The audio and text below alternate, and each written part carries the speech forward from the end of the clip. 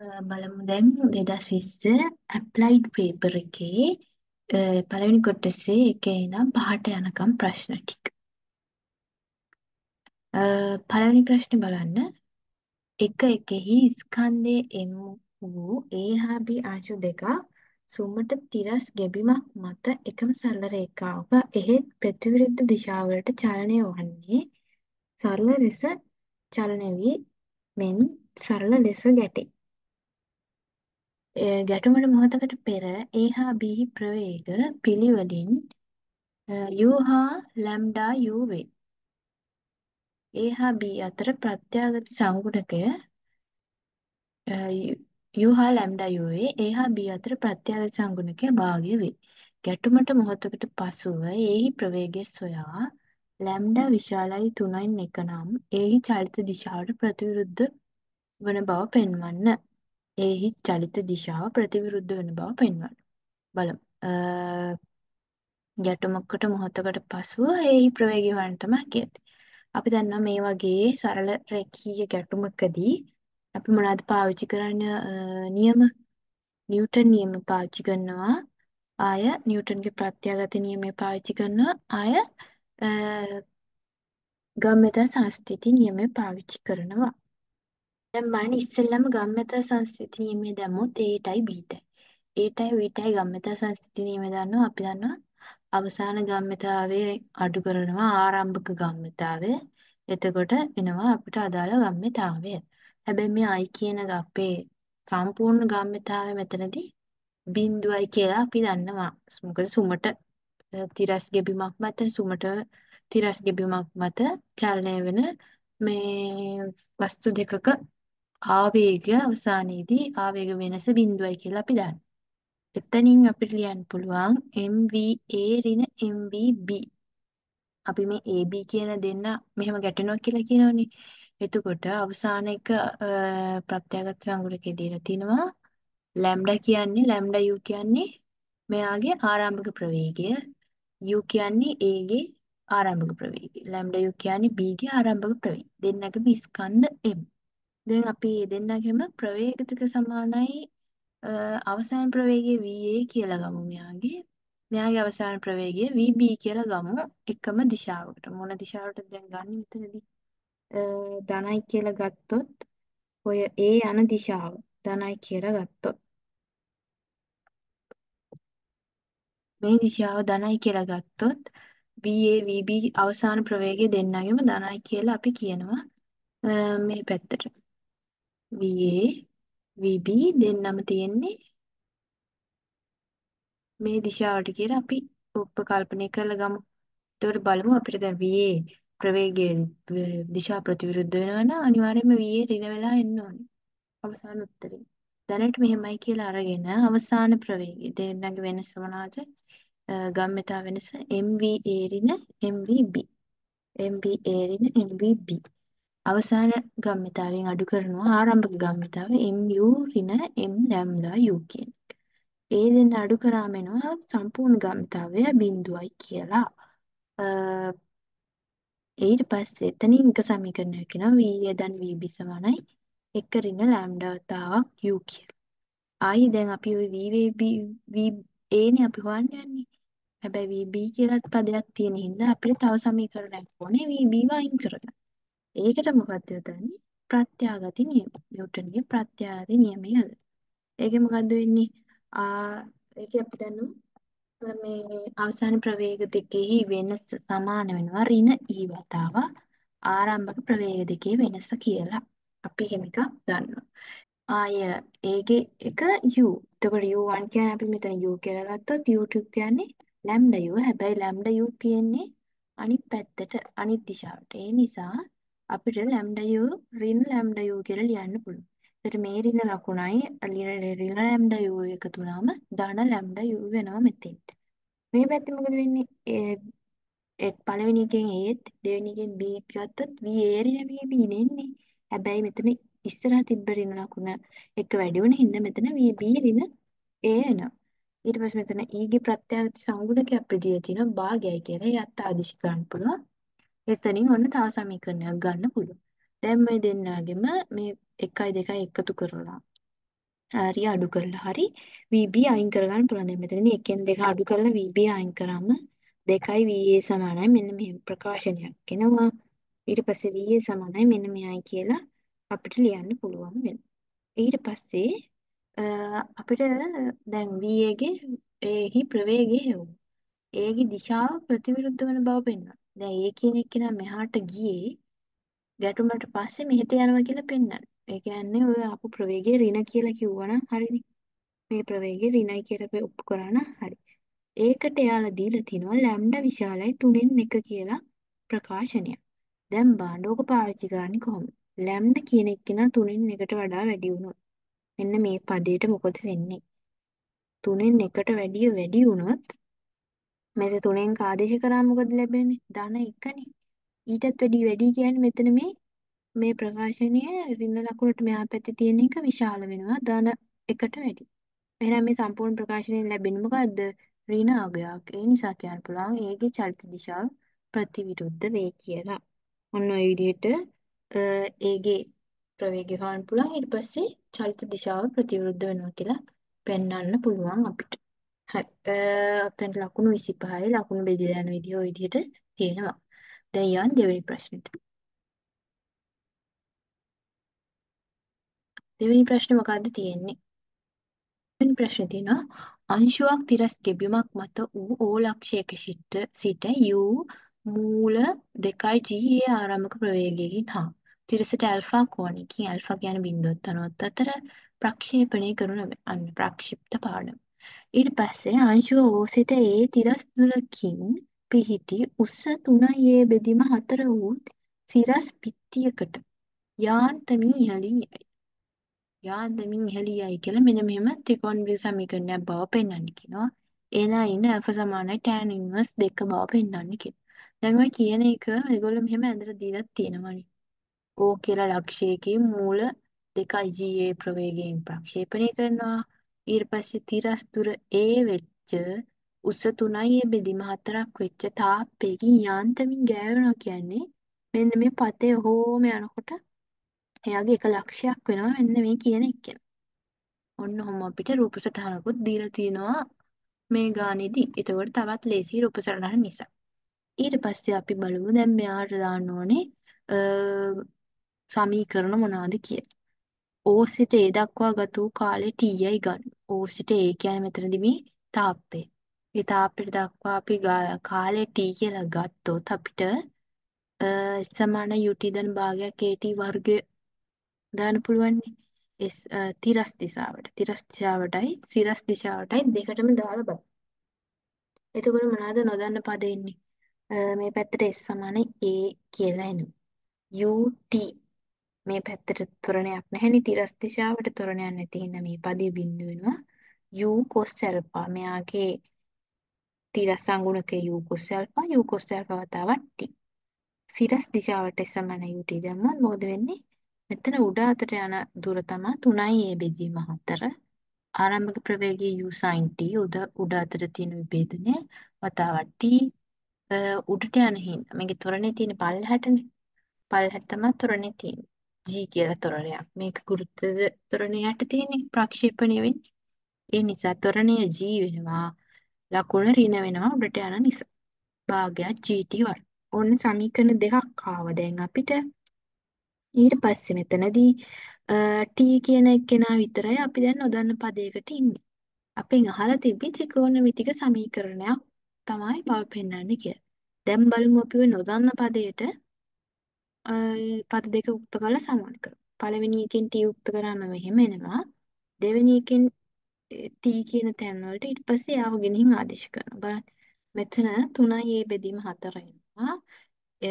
මෙයාගේ t ට ගෙනත් දැම්මොත් එකපාර ටීට මේ ඒ බෙදීම u cos alpha කියන එක නා දැම්මොත් u ට u කැපිලා sin alpha බෙදීම cos alpha ගෙන් tan alpha එනවා ආයේ ඒ ඉතුරු වෙනවා මෙතනින් දැම්මොත් ඍණ භාගයයි g වතාවක් t ගේ වර්ගය කියන්නේ මොකද්ද?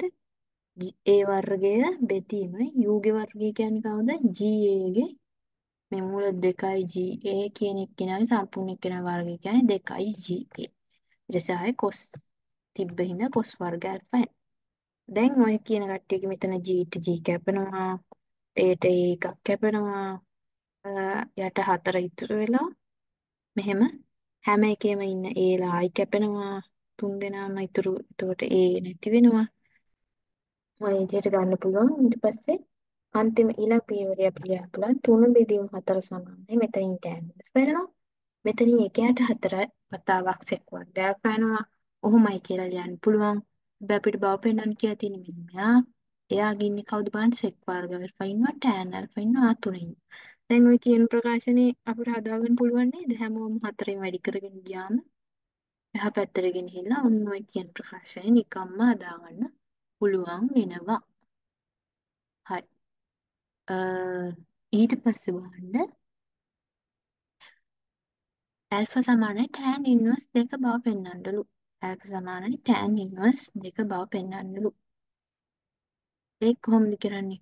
දැන් ඔය ගත්ත ප්‍රකාශනයම සුළු කරන්න. දැන් ඔය sec වර්ග ඇල්ෆයි tan ඇල්ෆයි ඔහොම එකක් නේ තියෙන්නේ. එයාගේ අපි හැමෝම tan වලට ගේනවා. බලන්න sec වර්ග ඇල්ෆා ලියන්න පුළුවන් එක දන tan වර්ග ඇල්ෆා කියලා. ඊට පස්සේ මෙතනින් ආය 4යි tan ඇල්ෆා දන 3 ඉතුරු වෙනවා. දැන් මේක නිකන් වර්ගජ ප්‍රකාශනයක් වගේ. එයාව අපිට මෙතන කෙලින්ම ලියන්න පුළුවන් ම්, x වර්ගද ඍණ 4යි x ධන 4 වගේනේ. ඊට පස්සේ ඔය කියන එක්කෙනා අපිට වර්ගජ ප්‍රකාශනයක් ලියා ගන්න පුළුවන් සම්පූර්ණ වර්ගයක් විදිහට tan alpha ඍණ දෙකේ සම්පූර්ණ වර්ගය. ඔය එක ප්‍රසාරණය කරාම මෙයා හම්බෙන්නේ. ඒ නිසා අපිට මෙතන ලියන්න පුළුවන් tan alpha සමානයි 2 වෙනවා. ඒ නිසා alpha සමානයි tan inverse 2 වෙනවා කියලා. මොකද මෙතන අපිට අර අ, පොදු ආකාරයෙන් ත්‍රිකෝණමිතික tan වලට ලියන ඒවා ලියන්න ඕනේ නැහැ. මෙතන alpha 0.94 කියලා දීලා තියෙන හින්දා පළවෙනි වෘත්තපාදකයේ විතරයි පිළිටන්නේ. හරි. දෙවෙනි ප්‍රශ්නය ඔතනින් වෙනවා. අපි බලමු දැන් ඊළඟට තුන්වෙනි ප්‍රශ්නේ. අ, තුන්වෙනි ප්‍රශ්නේ මොකක්ද තියෙන්නේ? එක එකෙහි ස්කන්ධය එමු. ඒ හා B අංශු දෙකක් අචල සුමට කප්පියක් මතින් යන සැහැල්ලු අවිතන්නේ තන්තුවක දෙකෙලවරට ඈඳා රූපය දැක්වෙන පරිදි ඒ අංශුව තිරස් ගෙබිමක සිට ඒ උසකින් ඇතිවද මෙන්න මේ විදිහට අ, B අංශුව ගෙබිම ස්පර්ශ කරමින් සමතුලිතතාවයේ පිහිටා ඇත. B කියන එක්කෙනා ගෙබිම ස්පර්ශ කරනවා මෙයා ඒට ඒ දුරක් උඩින් ඉන්නවා. දැන් ඒ අංශුවට සිරස්ව පහළට mu ආවේගයක් දෙනු ලැබේ. ඒ අංශුවට සිරස්ව පහළට mu ආවේගයක් දෙනවලු. ආවේගයෙන් මොහොතකට පසු ඒ අංශුවේ ප්‍රවේගය හොයන්න. දැන් ඔන්න ගම්මිත සංස්ථිතියේ තමයි දාන්න වෙන්නේ. අ, ඊට පස්සේ ඒට ගෙබිමට ළඟා වීමට ගතවන කාලය ලියා දක්වන්න. හරි. බලමු කොහොමද හදන්නේ කියලා. දැන් ඔය ආවේගය අපි දැම්මොත් අ, ගම්මිත සංස්ථිති නියමයෙන් බීට අපි දැම්මොත් ආවේගය ඔතන ඇති වෙන ආවේගය J කියලා ගත්තොත් උඩ අතට එයා සමාන වෙනවා MVA ට. ඔතන VA කියන්නේ කවුද? VA කියන්නේ A ගේ අවසාන ප්‍රවේගය. A ගේ අවසාන ප්‍රවේගයත් එක්ක එන ආවේගය තමයි ඔතන B ගේ B ගේ අවසාන ප්‍රවේගයත් A ගේ අවසාන ප්‍රවේගයට සමානයිනේ මේකේ සුමට කප්පියක් හින්දා. ඒ නිසා උඩ අතට ඇතිවන ආවේගය අපිට එකපාර ලියන්න පුළුවන්. අ, මෙයාගේ ආරම්භක ආවේගයක් නැහැ. එතකොට අවසාන ආවේගය J කියලා ගත්තොත් J ඍණ බිඳුව තමයි උතුම් J කියලා ලියවිලා තියෙන්නේ. එතකොට J සමාන වෙනවා අ, ආරම්භක ප්‍රවේගයක් නැහැ. අ, ඒට ආවේගයක් විතරයි තියෙන්නේ ඉස්සෙල්ලම. ඒ නිසා B ගේ ආරම්භක ප්‍රවේගයක් නැති හින්දා අවසාන ආවේගයෙන් අවසාන ගම්මිතාවෙන් ආරම්භක ගම්මිතාව අඩු කරාම MVA ඍණ බිඳුව කියලා එනවා. ඒක තමයි J සමාන MVA වෙලා තියෙන්නේ. ඊට පස්සේ A සඳහා A සඳහා මෙතන සික්කන්නේ. A සඳහා පහළට දාන්න. පහළට දැම්ම මොකද වෙන්නේ? ආරම්භක ආවේගය මොකද්ද? mu. අවසාන ආවේගය J. ඊට පස්සේ ආරම්භක ප්‍රවේගය නෙමෙයි අවසාන ප්‍රවේගය තමයි අපි දන්නේ. අවසාන ප්‍රවේගය MVA එනවා. හරිද? ඊට පස්සේ ඔතනින් ඔය ගම්මිත නියමයෙන් දාලා අපිට ඔහොම Aටයි Bටයි සමීකරණ දෙකක් ලියා ගන්න පුළුවන්. ඊට පස්සේ අපි මොකද කරන්නේ? මේ G J කියන දෙන්න සමාන කරාම මේ පද දෙක එකතු කරලා බලන්න එදවා එතකොට M කියන පදේ හැමෝටම කැපිලා ගිහිල්ලා VA සමාන U බෙදීම දෙකයි කියලා. මෙන්න මෙතනින් VA ප්‍රවේගයම තමා ඒගේ එන අවසාන ප්‍රවේගයම තමා බීගේ ආරම්භක ප්‍රවේගය වෙන්නේ. මෙයාගෙත් mu කියලා ආරම්භක ආවේගයක් දෙනවා මෙයාට ආවේගයක් නැහැ. හැබැයි අවසාන ආවේගයක් තියෙනවා J කියලා. හරිද?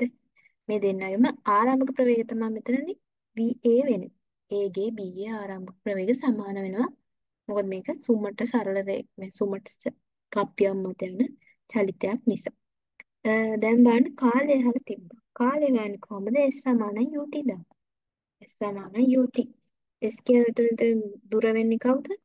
ඔය කැපිටල් A කියන එක්කෙනා ඒ දුරක් පල්ලෙහාට එන්නකොට ඒ දුරක් පල්ලෙහාට එන්න ගතවන කාලයනේ අහන්නේ.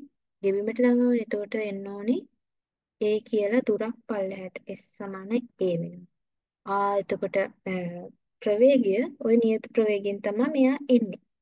මෙයා නියත ප්‍රවේගයකින් එනකොට VA සමාන වෙනවා S සමානයි UT දැම්මම උතනදී T සමානයි 2යි A බෙදීම U කියලා ලියන්න පුළුවන්. මේ VA කියන එකනත් U බෙදීම 2යි කියලා ගත්තම මෙන්න මේක එතකොට සුමට කප්පියක් මතින් යන එකක් දෙන්නම යන්නේ VA ප්‍රවේගයකින්. හරිද? හරි. ඔතනදී එතකොට මෙතන ලකුණු බෙදලා ගිහින් තියෙනවා මෙන්න ඔයාලා මෙතන මේ දෙන්නගේ ප්‍රවේග අඳුන ගන්නවටයි ආවේග අඳුන ගන්නවට එක් රූප සටහනකින් පෙන්වන්න නැත්තම් වචනෙන් ලියන්න. එහෙම ලියනකොට ලකුණු පහක් තියෙනවා. අනිත් ඒවා මෙතන Aටයි Bටයි මේ ආවේගයට දාන සමීකරණයටයි V හොයන එකටයි T හොයන එකටයි ලකුණු 25 ඔය විදිහට තුන්වෙනි ප්‍රශ්නේ බෙදිලා යනවා. ඊට පස්සේ බලන්න හතරවෙනි ප්‍රශ්න. හතරවෙනි ප්‍රශ්නේ මොකක්ද කියන්නේ? ස්කන්ධයේ කිලෝග්‍රෑම් 1500ක් වූ කාර්යයක් විශාලත්වය 500 නිව්ටන් වූ නියත ප්‍රතිරෝධයට එරෙහිව ඍජු තිරස් මාර්ගයක ධාවනය වේ. බරක් තියෙනවා 1500ක කියලා 500ක නියත ප්‍රතිරෝධයක් තියෙනවා. එකම ඍජු තිරස් මාර්ගයක ධාවනය වේ. කාර්යයේ එන්ජිම 50 කිලෝවොට් ජවයකින් ක්‍රියා කරමින් කාර්ය 25 ms ශ්‍රේණියක වේගයෙන් ධාවනය වන විට එහි ත්වරණය සොයයි. ඊට පස්සේ මෙම මොහොතේදී කාර්යයේ එන්ජිම ක්‍රියා විරහිත කරනු ලැබේ. එන්ජිම ක්‍රියා විරහිත කළ මොහොතේ සිට තප්පර 50කට පසු කාර්යයේ වේගය සොයයි. බලමු හදන්නේ කොහොමද කියලා. අපි දන්නවා සමීකරණයක් P සමානයි FV කියලා ඕනම මෝටරයක ජවයට ලියන සමීකරණයක් P සමානයි FV. ඔය P කියන එක්කෙනා වොට් වලින් F කියන එක්කෙනා නිව්ටන් වලින් V කියන එක්කෙනා ms ශ්‍රේණියකින් දාන්න ඕන. එතකොට මෙතනදී P අපිට දීලා තියෙනවා 50යි කිලෝවොට් කියලා. ඒ නිසා 50 වැඩි කිරීම 1000 එනවා. F කියන එක්කෙනා දන්නේ නැහැ. ප්‍රවේ අපි දැන් ඒ අතට යන ත්වරණය හොයන්න කලින් බලය හොයාගන්න. ස්කන්ධයක් දීලා තියෙනවා. බලය හොයාගන්න තමයි මේක පාවිච්චි කරන්නේ. V දීලා තියෙනවා 25යි. ඒ නිසා F සමානයි නිව්ටන් 2000යි කියලා අපිට හොයාගන්න පුළුවන් වෙනවා.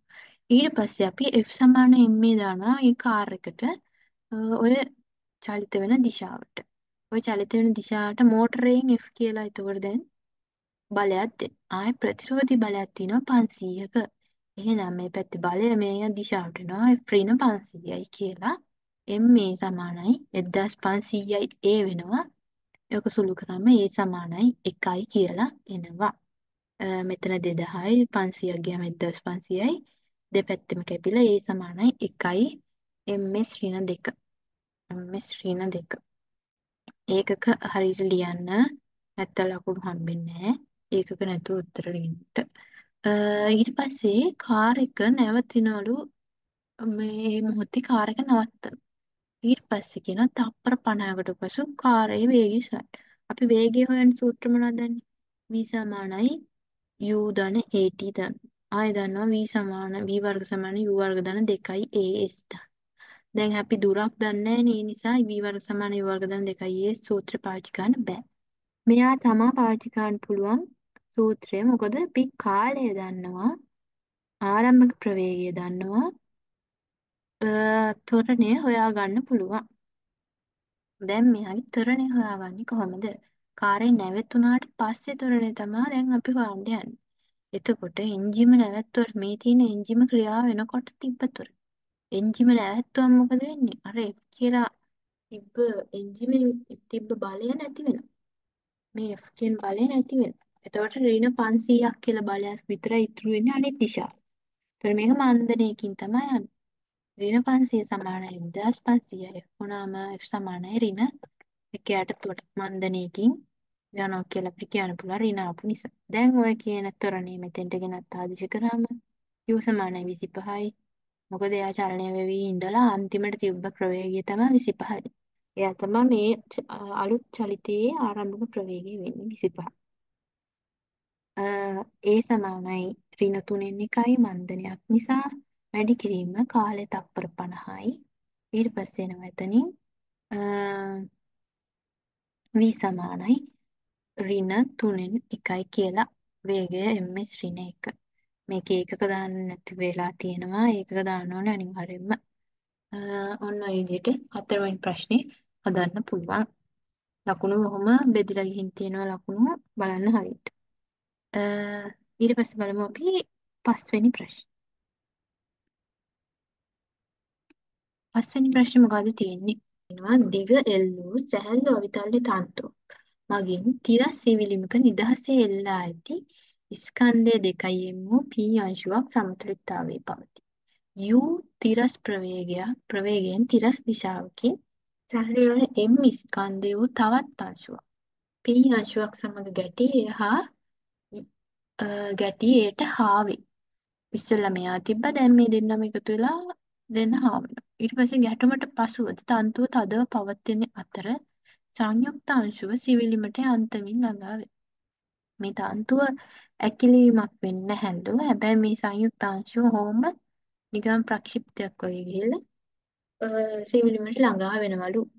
u සමානයි මූල 18යි GL බව පෙන්වන්නේ. u කියන්නේ කවුද උතන? මෙන්න මෙයාගේ ආරම්භක ප්‍රවේගය. එයා ආපු ප්‍රවේගයේ තිරස් ප්‍රවේගය. දැන් බලමු උතන්ට ගම්මිතා සංස්ථිති නියමය දැම්මොත්. ඔතන ගම්මිතාව වෙනසක් වෙන්නේ නැහැ. ගම්මිතාව වෙනසක් වෙන්නේ නැති හින්දා එතන i සමානයි බිඳුව කියලා ගන්න පුළුවන්. අවසාන ප්‍රවේගය මොකද්ද වෙන්නේ? අවසානයේදී v කියලා අපි හිතුවොත් මෙන්න මේ ආපු දෙන්නා ආරම්භයේදී u කියන ප්‍රවේගයකින් m කියන කෙනෙක් ඇවිල්ලා 2m ට හා වුණානේ. ඊට පස්සේ අපි සලකමු ඒ දෙන්නම එකක් කියලා හිතලා 3m කියලා අරන් එයා v ප්‍රවේගයකින් උඩ යන්න පටන් ගන්නවා කියලා. දැන් ওই v ප්‍රවේගය හොයන්න තමයි අපි යන්නේ මෙයා උඩ යන්න පටන් ගන්න ප්‍රවේගය හොයන්න. එතකොට මොකද වෙන්නේ? අවසානයේදී මොකද වෙලා තිබ්බේ? 3mv කියලා ගමනතාවයක් තියෙනවා. ආරම්භයේදී මෙන්න මෙයාට 2mට තිබ්බේ නැහැ ප්‍රවේගයක් මෙයාට විතරක් තිබෙන හින්දා ගම්මිතාව mu විතරයි. එතකොට අවසාන ගම්මිතාවේ ආරම්භක ගම්මිතාව අඩු කරාම එකෙන් එනවා අපිට v කියන දෙන්නම එකතු වෙලා යන ප්‍රවේගය u බෙදීම 3යි කියලා. ඊට පස්සේ බලමු ඊට පස්සේ මේ ශක්ති සංස්ථිති මූලධර්මයේ යොදමු. දැන් අපිට ඔය u කියන එක්කෙනා මෙන්න මෙහෙම බව පෙන්වන්නනේ තිබ්බේ. දැන් ඔය u කියන එක්කෙනා අඩංගු සමීකරණයක් ගොඩනගා ගන්න ඉපේ. එතකොට මේ වගේ එක අපි දන්නවා අපි සුළු කරන්නේ ශක්ති සංස්ථිතිය යොදලා කියලා. මොකද්ද ශක්ති සංස්ථිතිය? ආරම්භක අවස්ථාව මෙතන, අවසාන අවස්ථාව සිවිලිම. ආරම්භයේදී තිබ්බ ශක්තියින් මොනවාද? චාලක ශක්තිය විතරයි. ආරම්භයේදී තිබ්බ ශක්තියින් චාලක ශක්තියින් සිවිලිමට මේ චාලක ශක්තිය තිබ්බා ආය අපි ගත්තොත් මෙතන විභව ශූන්‍ය ලක්ෂය මෙතන කියලා විභව ශූන්‍ය ලක්ෂය EP බිඳුව වෙන තැන මෙතන කියලා ගත්තොත් හැබැයි මෙන්න මේ අවස්ථාවේදී චාලක ශක්තියකුයි ඍණ පල්ලෙහාට ඍණ වෙච්ච විභව ශක්තියකුයි දෙකක් ඊට පස්සේ කියනවා මෙතෙන්ට යන්තමින් ළඟා වෙනවා කියන්නේ ওই ප්‍රවේගය එන්න එන්න උඩට යද්දී අඩු වෙලා අඩු වෙලා යන්තමින් ළඟා වෙනවා කියන එකේ තේරුම මොකද්ද? මෙන්න මෙතනදී ප්‍රවේගය බිඳු වෙනවා කියන එක. ඒතර මෙතෙන්ට ආවම මොනවද තියෙන ශක්තිය? චාලක ශක්තියක් නැති වෙනවා. ආය විභව ශක්තිය මෙතනදී බිඳු වෙච්ච විභව ශූන්‍ය මට්ටම නිසා විභව ශක්තියක් බිඳු වෙනවා. එහෙනම් අපිට කියන්න පුළුවන් ශක්ති සංස්ථිතිය සුරින් භාග්‍ය වතාවක් mv වර්ග. දැන් සම්පූර්ණ එකනේ යන්නේ 3i m වෙනවා. එතකොට දෙන්නගෙම ප්‍රවේගය v v වර්ගය පල්ලෙහා අතට විභව ශක්තිය පහළට ගත්තොත් 3mgl. L දුරක් පල්ලෙහාන් තියෙන්නේ mgh වගේ සමාන වෙනවා අවසානයේදී ඔය කියපු ශක්තිය බිඳුවට සමාන වෙනවා. ඔන්න ඔය කියන එක්කෙනා සුළු කරලා ඔය v ට ගෙනත් ආය ආදේශ කරොත් මේ u බෙදීම 3 සුළු කිරීමෙන් අපිට ගන්න පුළුවන් v සමානයි u සමානයි මූල 18යි gl කියලා ඔප්පු කරන්න පුළුවන් වෙනවා අතන. ඔන්න ඔය ගම්මිත සංස්කෘතියයි ශක්ති සංස්කෘති මුල් ධර්මය තමයි මෙතනදී පාවිච්චි කරන්න තිබ්බේ. හරිම ලේසි. ඔය වගේ ගණන් මේ මේ ඇප්ලයිඩ් ගණන් වල ලොකු දේවල් නැහැ පළවෙනි පේපර් එකේ. පළවෙනි පේපර් එකේ එන්නේ මේ වගේ පොඩි පොඩි කන්සෙප්ට් ගැන තමයි අහන්නේ. ඒ නිසා ඒ කන්සෙප්ට් ටික ටක් ටක් ගාලා හදාගෙන යන්න ඒක ඉක්මනට ලකුණු එකතු කරගන්න පුළුවන්. මේවා හදලා හදලා ප්‍රැක්ටිස් එක ගන්න පාස් පේපර්ස් ගොඩ වතාවක් එකම පේපර් එක වුණත් කමන්නේ ගොඩ පාරක් කරන්න පුළුවන් නම් මොකද එතකොට ආය ආයේ ඒ ගාන වැරදිච්ච තැනක් තිබ්බොත් අහු වෙනවා ඊළඟ වතේ ඔයා ඒක වරද්දන්න නැතුව ඉන්න පුරුදු වෙනවා. එහෙම එහෙම එකම જાති ගණන් ටිකක් එන නිසා මේ පාස් පේපර්ස් ඩිස්කෂන් එක බලන ගමන් තව පාස් පේපර්ස් වැඩි වාර ගණනක් කරන්න. දැන් මේක එකපාරක් උත්තර බලලා ඊළඟ පාර තනියම කරන්න. ඊට පස්සේ ආයෙ වැරදුනොත් ආයෙ මෙතෙන්ට වෙලා බලන්න කොතනද මට මිස් වුනේ කියන එක බලා ගන්න පුළුවන්. එතකොට මේ වීඩියෝස් තියෙන නිසා දිගටම බලා ගන්න පුළුවන්. හරි. පස්වෙනි ප්‍රශ්නෙට එනකම් ඔතනින් ඉවර වෙනවා ඇප්ලයිඩ් පේපර් එකේ පළවෙනි කොටස.